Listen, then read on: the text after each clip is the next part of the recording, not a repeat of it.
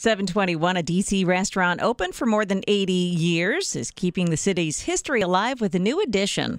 Martin's Tavern is a Georgetown icon. We have had the honor of serving every president from Harry S. Truman to George W. Bush. The restaurant's Chrissy Gardner. Now they've added a plaque honoring two D.C. superstars. One of them is Baseball Hall of Famer Walter Johnson of the Washington Senators. In the early 1900s, he and my great grandfather were probably the two most known people in this city. Mike Copperthite is talking about Henry Copperthite, the other man on the plaque. His pie bakery, founded in Georgetown, became the biggest in the world. Read more and see photos at WTOP.com. Search Tavern. Michelle Basch, WTOP News. It is the place where JFK proposed to Jackie, and numerous other presidents ate dinner there too. Well, there's a new addition to DC's oldest family run restaurant. The newest plaque on the wall at Martin's Tavern in Georgetown honors Baseball Hall of Famer Walter Johnson of the Washington Senators. It's located in what's called the Dugout Room. Ty Cobb sat back there, uh, Mickey Mantle. That's Chrissy Gardner with Martin's Tavern.